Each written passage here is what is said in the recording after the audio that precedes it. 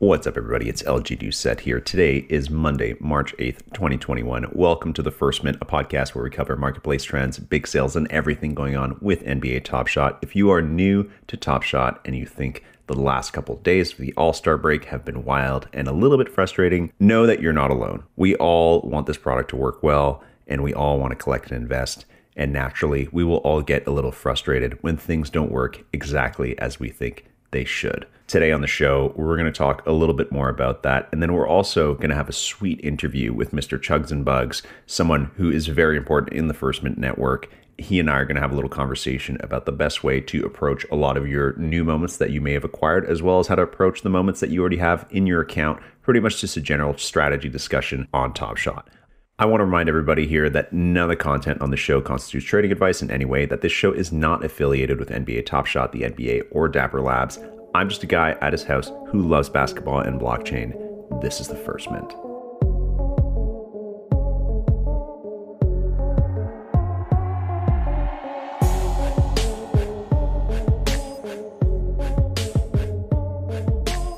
As of this recording, the marketplace is still down. But I do feel like, although that's frustrating, there is actually something new that is about to happen on it. Usually it's not down for this long without something being changed. So let's cross our fingers that it's back up soon. Hopefully, by the time you're listening to this, you are also on the marketplace making those sweet deals that we all love to make. Some very quick updates before we get into it, some updates around Top Shot that you may have missed. First, the challenges for the new sets. So, the Seeing Star set is out. The first challenge is up. It's for Kevin Durant. The next challenge will be for LeBron, and it will very likely require all the moments that are not included in the Kevin Durant challenge. We also got confirmation from Jacob on Saturday that that LeBron challenge will not start for at least a couple of weeks. So that LeBron challenge won't happen now. It will happen in a couple of weeks, probably when the Kevin Durant one expires, which isn't for another 20 days. So seeing stars LeBron, not for a little while. Rising Stars, the other set that was released this weekend, and that was a little bit hotter and also a rare set. That one will also have two challenge rewards. The first challenge is out right now. It's for Anthony Edwards, and you need half of those moments to complete it. And then, very likely, when that challenge is over, which also is in three weeks, we will start the other challenge, which will be for Zion. So, in three weeks from now, we're anticipating that there will be a Seeing Stars LeBron challenge and a Rising Stars Zion challenge running at the exact same time. Won't happen before that, so just keep that in mind. Other stuff to look out for Cool Cats 3 is very likely dropping this week, if not early next week. We already know, we've known since last week, who the other players would be as part of Cool Cats 3. They've already been minted. There's 15,000 of each one that are going to be ready to be dropped in packs. Those players are Shai Gilgeous-Alexander, RJ Barrett, Goran Dragic, Domantas Sabonis, and Kristaps Porzingis. The reward for Cool Cats 3 will be Nikola Jokic. And again, you will need all six of those moments to complete the LaMelo Master Challenge. Also, typically with Cool Cats challenges, you also need some common moments. It's not yet known if those common moments will be from the 15,000 set or from the 35,000 set. I would say it's probably the latter, just so it's a bit more accessible to people. But again, you never know. One other little wrinkle that's been pointed out by many people for that Cool Cats 3 is that all six of those players are international players. So it is likely that some of those common moments will also be international players. But again, we don't know. Only other challenge that's going on, well, there's two others. There's Metallic Gold for Terry Rozier. So if you like Metallic Gold too, you can do that challenge. There's also Holo Icon, which has been pushed back a day for the James Harden reward reminder. That is the first James Harden moment minted that has him in a Brooklyn Nets jersey. So that's very nice. That challenge ends tomorrow. And for the, you know, 40 or 50 of you who might actually be contemplating doing it, good luck. I hope you get a very good serial number. Overall, other things to look out for is generally pack drops. We might get Cool Cats 3. We might get that pre order release 21 that we pre ordered a week ago. We might get more stuff. The queue system pretty much works. The marketplace doesn't work, but the queue system does. And I would assume that Dapper is about to just fire that up and start cranking out tons more stuff. So when you're thinking about your strategy and you're listening to Chugs talk and a little bit on this podcast, keep that in mind that tons more supply is very likely on the way. Before we get into the chat with Chugs, before we get into that, I want to talk about the last couple days of drops. It's been a very interesting couple of days on Top Shot. Rising Stars was announced on the website, meaning the NBA used the Top Shot website to announce something huge, the Rising Stars. And we had four different drops in three days. which added up to over 778,000 moments being added to the ecosystem. During that time, a lot happened on the Top Shot side as well. Challenges were launched, as we just discussed, and some of the rules were changed. To be able to do the Rising Stars drop, you had to own a moment in your account, which was obviously done to help prevent bots and, and scammers and people with multiple accounts. But again, it was changed without people really knowing it's going to be changed. That, whether it's worrisome or not, I'm not thinking about it too much. But what I did find worrisome was the market not being open very much. And for everybody who shared their frustrations and obviously their joys as well at opening packs, but mainly everybody who has shared on Twitter and Discord their general frustrations, I hear you and I feel you. And I'll tell you that I am not very happy about it either. I really do believe that Top Shot is being built for the long term. And now that's become clear in the last couple weeks as the product has clearly gotten the NBA's full support. If it didn't have it already with the license, it's now clear that the NBA is very interested. Whether we think things are being done the right or the wrong way, there's no way to tell in the short term. Obviously, things are frustrating, but long term, this all these decisions could actually be very beneficial for us. But with that being said, it did take me a bit of extra time to get this podcast out today because honestly, I had to gather my thoughts, I had to gather my feelings and really understand what Top Shot is trying to do and also try to translate that into what the first mint is trying to do. And after stewing on all that for a little bit last night after the All Star game, I came to this. The first mint is also here for the long run. We are here to represent the community, and you're going to see us do that more in the next weeks and months. Keep sharing your feelings, keep asking us questions. We will always be here for the community and with the community to navigate this wild world of Top Shot. Whether it's me, Phil, Plunge, Chugs, Greg, Steve, and everybody else in the network, we are here to serve you guys and to grow as the community grows. Everyone else who's out there as part of the community who's been helping people out, answering people on Twitter, helping alleviate their fears and their frustrations, we see you and we salute you as well, the people doing that great work. We don't know what the next couple days and weeks hold in Top Shot. There will be more market dips. There will be more new users. There will be more big things that seem like they're marketing, even though we've been told the marketing's not happening. There'll be new moments. There'll be confusing challenges. There will be changes to the platform. All that's going to happen. And we're going to go through all that together. I know I've said this a few times, but we will always be here as the first mint to help you navigate that, no matter how frustrating or annoying it gets. I really do believe, again, in the long term, and I do think things will get much better from here. The only thing I can offer you is a little bit of patience, take a step back from the product, and let's just hope that everything gets smoothed out very soon. Next up, you're going to hear parts of my conversation with Mr. Chugs and Bugs, which we had last night when the marketplace was still down. And before we get into that, I'm just going to give you a quick primer. I know a lot of people have been asking about how to price their moments, and also what's happening on the marketplace. Why has there been a pullback in prices? So I'm going to give you a little primer before we dive into the interview. First thing I'm going to talk about is base moments. Base moments are supposed to be base. They are not supposed to be necessarily going for hundreds of dollars on the marketplace or even thousands for some of them. They are meant to be the base layer of the Top Shot ecosystem.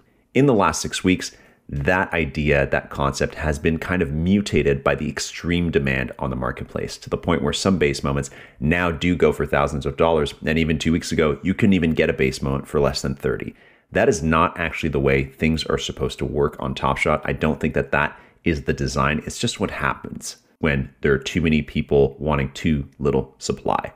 The ultimate goal, in my belief, for Top Shot is for the expected value of a new pack, especially a base pack, to be even, equal to what will actually be inside. Meaning, a pack that costs $14, the expected value should be about $14. And again, obviously, right now, we're nowhere near that. But I just want to point out that that is the ultimate goal for Top Shot is to stabilize the economy so that new people who come into the game are able to buy a base moment of their favorite player for under 20 bucks. That is the ultimate goal. So if you're worried about new moments being minted, know that that is where Top Shot is trying to go with it. New moments of current players are coming out. Someone like Damian Lillard, he has a new base moment that is one of 35,000. He also has a previous base moment of 15,000 and one of 7,500, as well as a variety of other moments. We're seeing new stuff come out of the rookies, the stars, and all the players on Top Shot naturally new supply like that of the same player, even if it's a different play, even if it has a slightly different designation, will naturally dilute the value of all of that player's moments. Doesn't matter if those old moments are going to be triple badge rookies or first moments or whatever, new supply of the same player will naturally dilute it. So, someone like LaMelo Ball, for a long time, there's only been one LaMelo Ball that we could actually buy on the marketplace, the one of 4,000, his triple badge rookie. But now there will be several more in the next couple weeks that we will be able to buy. So, again, keep that in mind. With more of the same player comes a natural dilution of that player. And of course, how to designate between those cards really depends on the play.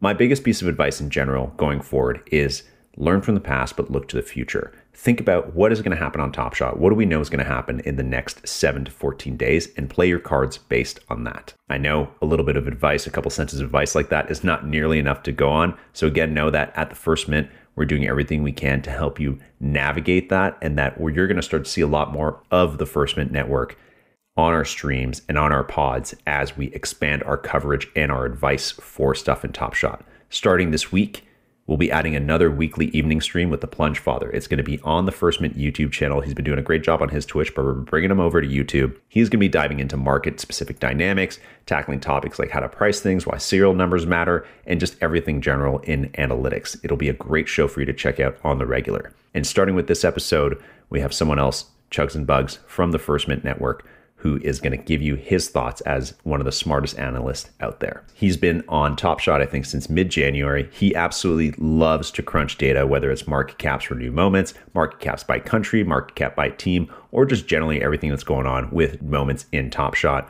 One of my absolute favorite charts that he has made recently is he gave an estimation on the value of the new rookie moments like Immanuel Quickley, Jae'Sean Tate, Payton Pritchard. He gave an estimation on those based on their PR, their minutes, and their overall value in the league compared to the prices of the previous triple badge rookies like LaMelo Ball and James Wiseman. He made an awesome chart like that last week. You can dig through Twitter a little bit to find it.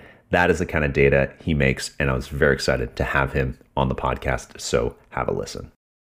All right, folks, we are on with Mr. Chugs and Bugs. You definitely know him from Twitter and from the Top Shot Twitter sphere. He is a very close ally of the First Mint and in our network, and also one of the smartest people that you could talk to about Top Shot and the data that surrounds it. Mr. Chugs and Bugs, it is very nice to finally have you make your First Mint debut. Yeah, uh, thrilled to be here. It's kind of it's kind of nice, uh, weirdly enough, the marketplace being down and we can just watch a basketball game just without like watching prices move up and down and stuff. So it's it's kind of it's kind of a beautiful disaster in a lot of ways, right? We can we can just enjoy the All Star game. Just sit back, get some popcorn, and and enjoy the sights and enjoy the the dunk contest. Let's put it that way, and then contemplate what you're gonna do when the marketplace actually opens back up. Yeah, I mean, it's it's funny. I think Steve, um, another you know kind of friend of the First Mint, he had put out he had put out a tweet saying, um, you know, basically, let's just shelve all of our predictions for now, and we'll we'll come back to you later with analysis. you know, we're not open right now, and and it, it, it's true though. A lot of a lot of people like us who try to kind of put out some higher level intel, it, it's it almost falls apart minutes later when you don't have a steady flow of transactions and, and valuation is you know wildly distorted because of that. You know i think the all-star prices themselves the seeing stars set you know is a perfect example of that. I mean right now i think it's safe to say and uh, granted it's sort of self-fulfilling for me because my initial predictions were pretty high relative to where prices are now but it just everything seems very low mainly because the assumed sort of challenge premium or utility premium, as I've called it, you know, basically the extra you would pay for a moment because it's attached to some sort of prize at the end, right? In this case, it's Kevin Durant. If you've got Team Durant pieces, which that challenge is going on now, and in the you know in the latter period, it's going to be a LeBron at the end. And typically with a challenge like that, you know, there's there's a massive premium placed on those moments. And right now, it just it doesn't seem like it at all. I mean, you're only having to pay a couple thousand bucks maybe it, you know, if you were just going to start from zero, you didn't even get a pack, and you've got a LeBron and a free roll at a great serial number uh, at the end of it. Same with Kevin Durant. So, you know, the marketplace being down, it just makes it incredibly hard to sort of peg, you know, where stuff belongs right now. Which, you know, for the opportunist, this is a great time to try to dip in whenever the marketplace is open, even if it's for an hour or two.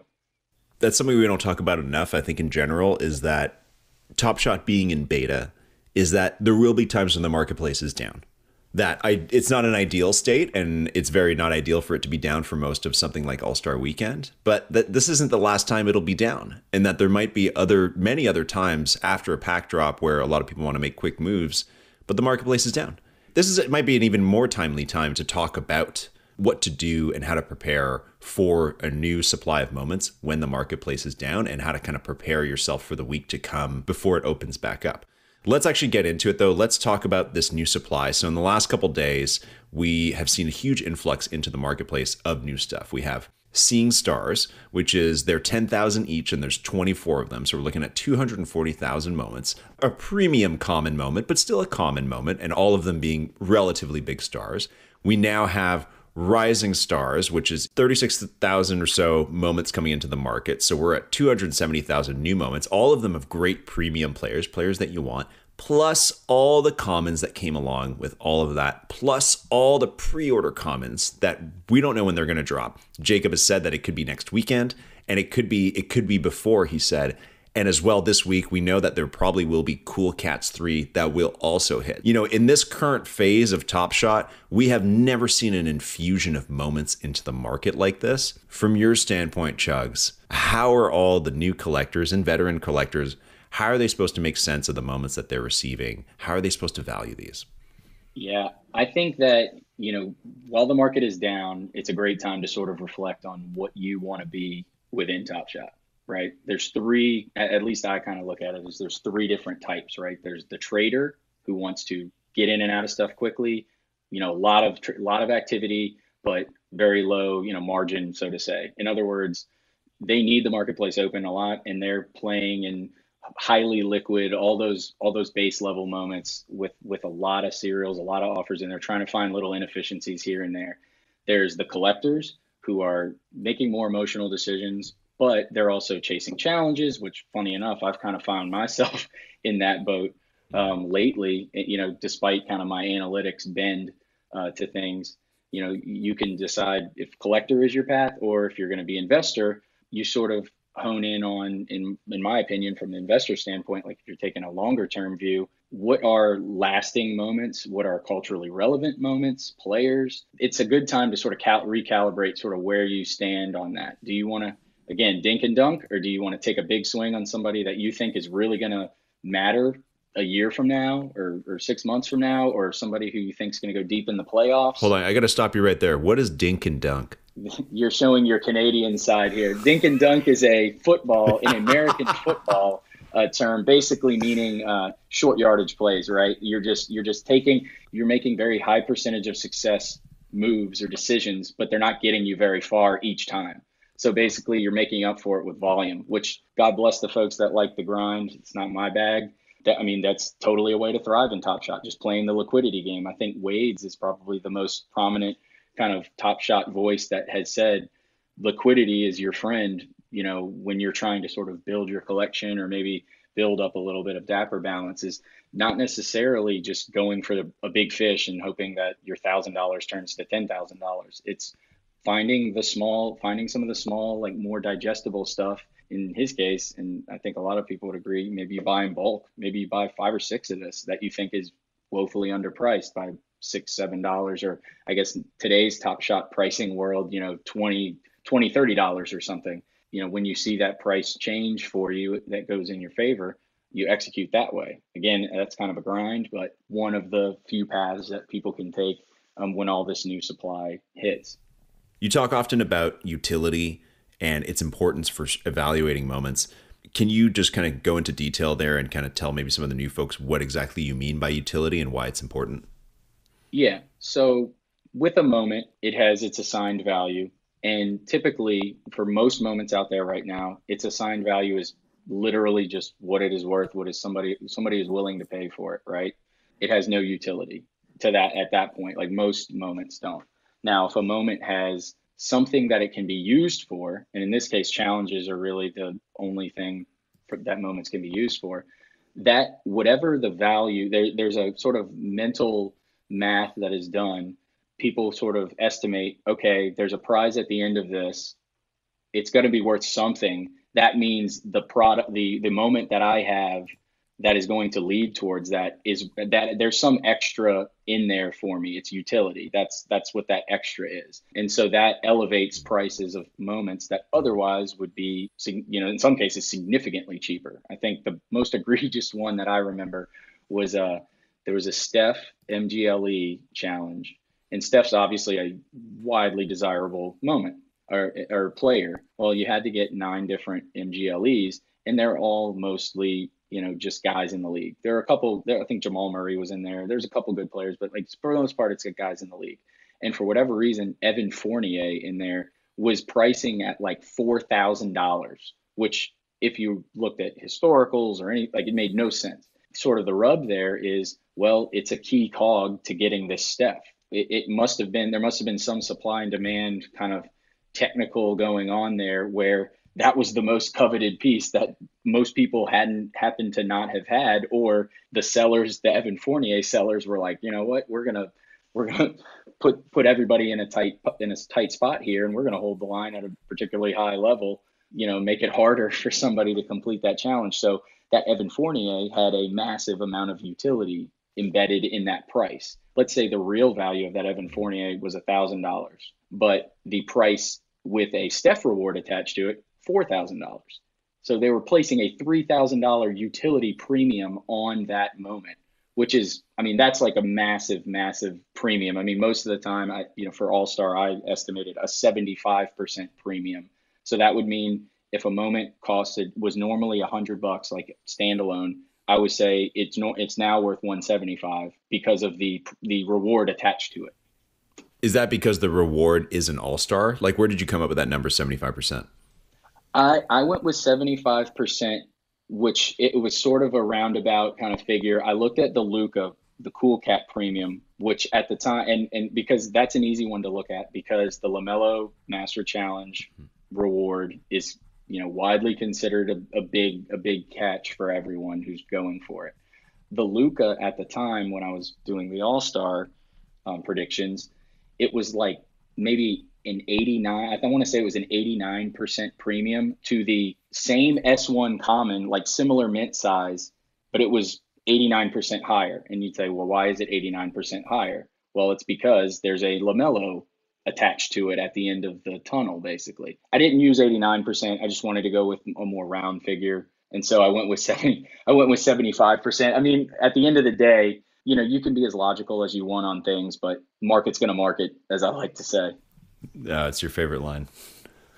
okay, that's good. Yeah, I like that. I'm going to come back to that uh, that kind of random estimation in a minute. But based on that, I guess retroactive observation of utility, we have so much new stuff that's just come out for you that could have utility attached to it.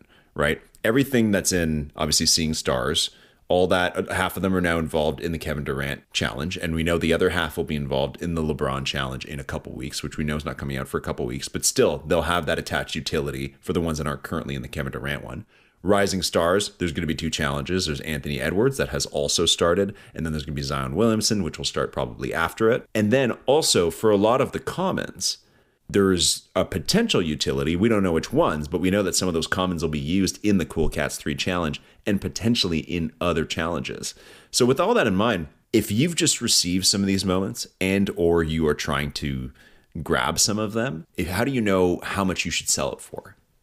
Yeah, I mean, I think that if you have a you know a utility item a, a moment that has utility your best way is to you know you basically try to back into well what's the value of the reward that i'm going to get at the end of it if you're if you're only sitting on that one utility moment and you're not going to go for the challenge. You're just trying to figure out you know where should i list this thing or or or you know what is it really worth? I think it, it is probably wise and this isn't financial advice but i think it's wise to you know capitalize on that challenge window. When a moment is part of a challenge its value is probably at its near peak absent any kind of you know overall move in the top shot universe if it's with if it's in play for a challenge reward that's where it's going to be you know its value is probably going to be maximized again not financial advice to say punt everything that's within a challenge when a challenge is going on but the data bears out that's when the value typically is at its peak. So really, it's it's just a matter of you find a level that you're comfortable with. You know, if you got it in a pack, you obviously have a much lower cost basis there, so you're not trying maybe to sweat out every every single dollar that you can maybe get out of it. I think it's just important to recognize when things are in challenges. That is, if you're not going to do the challenge, that is a really good opportunity to sort of rebuild some dapper. Basically, if you got lucky with a with a coveted moment that maybe you aren't particularly attached to um, in any kind of way. You know, it's not a player you really care for. It's not a moment you really care for. That's that's an easy opportunity, you know, in my opinion, really. I like that. Yeah, that's that's. I think that's really solid advice. It's just a great way to look at it. How would another pack drop affect the market this week? Whether it's Cool Cats 3 or even, let's say, a legendary. Because, you know, Dapper has promised, they've said that there would probably be a legendary drop every month. And the Holo Icon, I think, has been over, it's been almost over a month now since that uh, that very precarious Saturday morning yeah. or Saturday afternoon of the, the Holo Icon drop. But we know we'll probably see more, and it could be it could be more All Star stuff. It could be like I don't know dunk contest legendaries or something like that. Or it could be a totally new set of legendaries that we haven't even thought of yet. But whether it's those or it's cool cats or it's a new rare set, what would that do to the market if, if that was dropped this week? Yeah, I mean, I think we've got sort of this bittersweet thing that happened this weekend where we saw a massive amount of supply brought into the system pretty much without a hitch, like just from the supply drop side of things, right? Yes. I mean, yes. I remember the time when every you know the lines were paused constantly, people were glitching into the the checkout line basically and skipping lines and you know just a total disaster. This weekend we had frankly unprecedented supply brought into the market in a couple of days again, without a hitch. The marketplace, however, seemed to massively suffer from this. To me, if I were the guys over there, I don't think more supply would be the uh, would be the priority necessarily. I, I, think obviously they have schedules that they want to try to keep, and you know, that, and that's all good and well. I think you know the marketplace is probably what you know you need the marketplace to be to be up and running. I, I would think before any kind of major supply drop. Now, a legendary, I actually don't think would have as huge of an impact because it's less moments, it's a higher entry point. So it's it's not you know not everybody. I mean, now granted, look, the expected values of of packs still being pretty darn positive. Yeah, there's probably going to be a still a pretty huge amount of people who line up to pay a grand for for a legendary pack. But I don't think the the sheer amount of moments that come out is going to be would be so much smaller that I don't necessarily think a legendary drop would actually would actually kill the market in the way that however many packs it was, geez, two hundred something thousand, you know, packs that we've gotten. I think a legendary would actually work okay, which sounds crazy. Man, it's a good point. Yeah, it's a good point. Two hundred ten thousand packs too. Yeah and with some of them with seven moments in them. But I will say, I will say, I agree with you. I don't, I don't, think an infusion of legendaries would would impact the market too much. But I think the announcement of a legendary pack could tank it a little bit, as we usually see, because that we saw that a month ago. Is that a thousand bucks is a lot, and a lot of people aren't necessarily going to bring that as new funds. But where they might have an over a thousand dollar account value, and they're going to try and liquidate some of that to raise funds for that pack, which we saw happen on a Holo Icon, and I've seen happen in the past as well. So yeah, I agree with you. It wouldn't it wouldn't it wouldn't affect it that much, but the announcement of it could always have a little bit of a blip. Prior to this, to the new stuff that we've seen in the last couple days, the marketplace was already kind of in in rough shape, or rather, the people's account values were in rough shape for maybe the week or so before that. Why? Things can kind of get stale. You can, if, if you're not really having new entrants come in, I think a lot of people sort of make make the bets that they want to make. They're kind of sitting on sitting on what they have, and you know, there's certain people that are taking this strategic, you know, long term view where they think, look, whatever I buy right now, and and they'll probably focus on players they like, good players, relevant players, good moments, you know, that kind of stuff. They're more playing the macro. Where this this user base is going to quadruple. It's just going to be a rising tide that lifts all boats you know, those are people that might already just be simply locked in and they're just not going to put any more money in until they really start seeing something happen for, you know, the market move for them in that way, which is kind of a self fulfilling prophecy in a way because you're basically saying, well, I'm just going to sit here. Well, what if nobody else really comes mm-hmm. comes to play and, and helps move that market for you? It, it's kind of got this weird, you know, capital kind of freezes up. People just don't people kind of again make their bets and and just kind of sit there. That's going to inevitably you know shake the tree for some people who maybe don't necessarily want to sit in a moment for you know in this situation you know the market changes so quickly. You know but maybe a week is too long for somebody. Sort of get somebody to say you know what? I'm just going to punt this and just have have dapper and i'll just wait till something else cool comes out and and get involved then. You know if you were the person who did that a week ago you had tons of dapper and you had plenty of opportunities to get new stuff now very specific question about some of the new stuff. Obviously, some of the rookies, I'll just use them as an example. Some of the rookies have been very hot, right? Out of the gate through series two. But now a lot of them are going to have a second and maybe even a third moment added, right? You think about someone like Tyrese Halliburton, he has a new common, but he also has a rising star. So just like that, Tyrese Halliburton has gone from having a one of 4,000 common as his only moment, and it's it's a triple star rookie for sure, but it's his only moment, to now having a rare moment with half the mint, as well as another common moment with 35,000, if not more, commons there how is that going to affect the price of that original moment long term? And I and I had to talk not just for Halliburton and the other 4,000 rookies, but also for the guys who have first moments in Series 2, uh, like any of the one of 12,000 limited moments. And I'll just give you one of my personal favorites, someone like Chris Boucher, who hasn't gone for that much, uh, even in his limited first moment, but now he's going to have another one that's one of 35,000. How will those first moments fare for both for first moments and rookie moments with the new supply? My gut thought honestly, is that it's going to sort of have a, I think it'll have a negative impact because I think that when the moment pool of a player expands, I think at that point, the moment itself becomes a little more important because you can pick from different ones. It's not just I own the Zion, it's like I can pick from eight different Zions. And so there's only so much money that can that can sort of go around. And so those dollars are naturally going to be, you know, the Zion dollars, let's call it, or in this case, we'll say the Halliburton dollars because you brought that one up. You know, there's only so much money that people are going to say, I want to put it on Halliburton. And right now, there's only one. Well, before the the Rising Stars, there was only one place you could really do that, and now there's going to be multiple places you can do that. And so there's going to be some money that diverts away from that to go to the other to the other you know moments to get different exposure. Maybe they think the rising star moment is actually better, just a better moment. It's going to have a last, more lasting impact than the than the triple badged first moment. Now, I don't know if I necessarily agree with that. I think the triple badge is going to actually is going to be a major major uh, value add to those moments.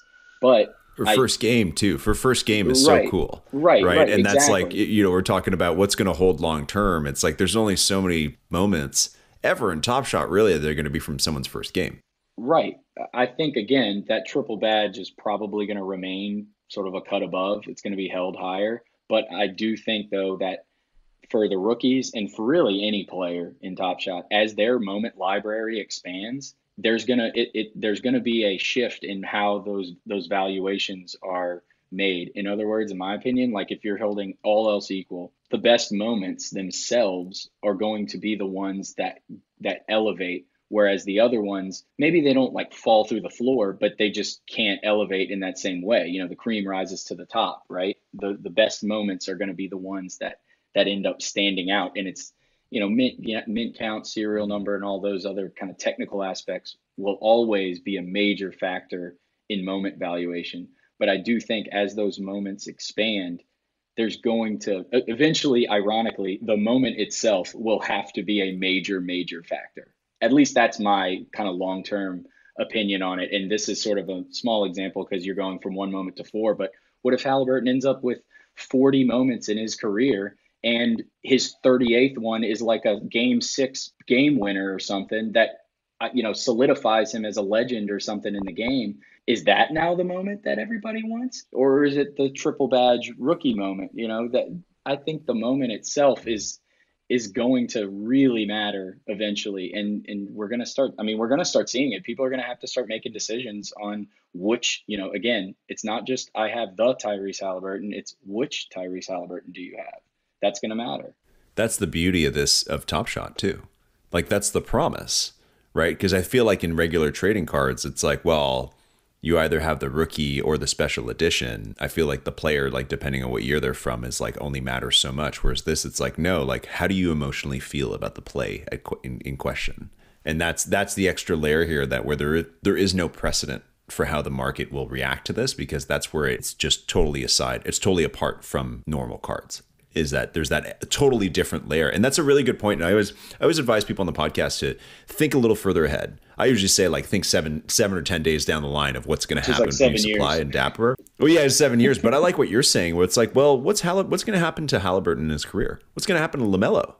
Right? What's going to happen to some of the other rookies we're not thinking about, like Jalen Smith or someone like that? What what are their careers going to look like?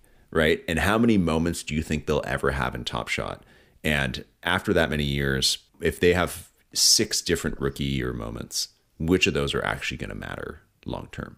I love that like game 6 game winner. It's like, yeah, of course. Like there's there's there's some players who are currently in circulation that have never been playoff heroes that by the end of July will be playoff heroes. And we don't know who they are, but that's going to happen. Like Tyler Herro last year was a great yeah, example. It forever changes. It forever changes that how how they're looked at. I mean, just culturally, and and then obviously in Top Shot now. You are a data master. You crunch a lot of the analytics, which is incredibly helpful for your audience and everybody else on Twitter and, and even us here at the First Mint. We really love seeing that stuff and it helps us make a lot of decisions and, and also decide what we're going to use to inform people. What kind of data are you looking at these days? I like to, I try to have kind of a core idea and then I try to test that or, or look into the numbers to see if that supports the idea. The last time the deep dive that I did was essentially a revisit of sales by serial, uh, sales by serial number. Basically, the theory is do we value serial number at an increasing rate? And I think it's pretty safe to say we do. If you see any of the charts that I put out on Twitter, it's pretty safe to say we do. And what that means is that the distance between, you know, one serial one and serial two is massive and then two to three is a little smaller three to four is a little smaller and then eventually it all kind of just muddles out together and serial 2049 is not a whole lot different than serial 5031 the next one that i'm trying to uh trying to get my head around is um do we value scarcity at an increasing rate in other words, instead of looking at serial number sales, looking at sales by the mint count. Um, a lot of times, which is kind of strange, you'll see, and I think I kind of know why, you'll see that a higher mint count moment actually trades or sell, you know, the, the offers on it and the sales data too are at a higher implied cap than a more rare moment. And the implied cap, for those who aren't familiar, is if you take the lowest ask and you multiply it by the amount of moments, the moment count, the mint count. That that's a way to sort of normalize and give you a better apples to apples comparison of two moments that have different mint counts. And so the theory would be something that is more rare probably is valued higher, like in terms of its cap. Like the price will obviously be higher, but is the actual like total value of that moment by cap higher as well? And in a lot of cases, or in a kind of peculiar enough to make you want to investigate, it doesn't seem to really make a whole lot of sense. Like the LeBron No Look 3 is worth more when you take its lowest price times the amount out there, 15,000. It's worth more than some of LeBron's actually more rare moments out there. And I think the reason is because one, when a price is lower, there's just more people involved in it. And two, um, just liquidity. If there's a lot more people buying it and, and it's kind of like you got to have this one and it's the most accessible one, then it's probably going to be priced a little higher than maybe it technically should be. And so I, that's that's one thing that I really kind of want to test out just to see how that looks across the spectrum because at this point it kind of like stands out in a few cases here and there, but I don't know if that's like this broad um, principle that you can maybe kind of look to, you know, on the long term. When the market opens back up, are you buying or selling? When the market opens back up, I'm probably buying unless everything is like three times higher than the last time I saw it. My current hunt right now is the cat cat, as I like to call it, which I love to fill in my buddy Plunge Father on where the cat cat is trading because my my dear friend bought his like $525 just in the middle of the scrum and he he documented his quest to get it and basically in his like self-deprecating thread you know said you know oh, I got swept up in the uh, in the heat of this and I, I scooped up one for you know $525 or something like that. My whole thought and I posted it right at right as it was coming out I said look man there's going to be a lot more supply coming out on this. And I I pegged it at like I don't know 150 to 300 bucks or something like that. And now I don't know where it was last, but I've gotten pinged that it, it has gotten down to like 120 at some point. So basically, I haven't bought it yet. I will because it's basically where I need it to be. You know, it's just a lesson in patience. I mean, obviously, I can't be right. I, you can't be right on everything. I, I was way off with the All Star prices, at least for now. Um, I think eventually I'll be closer to uh, reality. You can't even it, buy them, man. Yeah, don't be hard yeah, on yourself. Yeah, and, and listen, and listen. As as people know, anybody who follows First Mint on Twitter, you can't linger on bad projections. Okay, you can't get caught up on estimates that you made and people laughed at you. You can't get stuck on that. It's gonna happen. Look, I call them crappy projections for a reason, right? The crappy chugomatic. it's crappy. You got to understand that, that that's just the way the machine works. I love it. People are going to spend their life savings on on the projections of something called the crappy chuck. I know it's got a wastebasket next to it. You should have you should have kind of known already. you mean the the Kevin Durant emoji? Yeah. I used by mistake. Oh, I love it. Well, Chugs, it's been great to have you, man. I'm sure people are going to love getting all this insight. Please follow Chugs and Bugs on Twitter he is the man with the data and his crappy chugomatic, which is actually incredibly good. So don't let him tell you otherwise. Yeah, we're trying out here. We're all just trying to figure this out, just like everyone else. I think that's kind of the beauty of it, right? We're, we're all kind of part of the same community, learning sort of a new disruptive kind of thing to, to get involved in. So we're doing the best we can. Again, if you want to follow Mr. Chugs and Bugs on Twitter, you can find him at exactly that handle, Chugs and Bugs, the N being just the letter N, not the word and.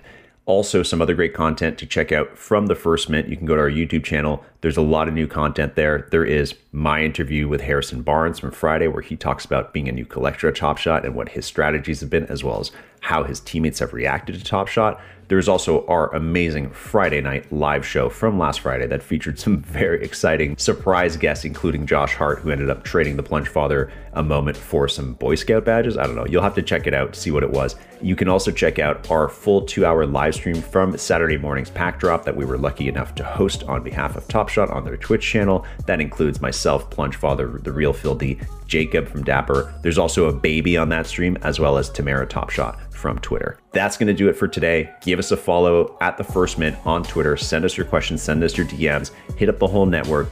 We do our best to get to every single one, so don't hesitate to do it. Other things to look out for this week. Tomorrow night, we got the Plunge Father on the stream. Wednesday, we got another pod. And Friday, we have the weekly extravaganza of the live show. So keep an eye out for it. Otherwise, when that marketplace opens back up, keep on collecting and good luck out there. We'll see you next time on the First Mint.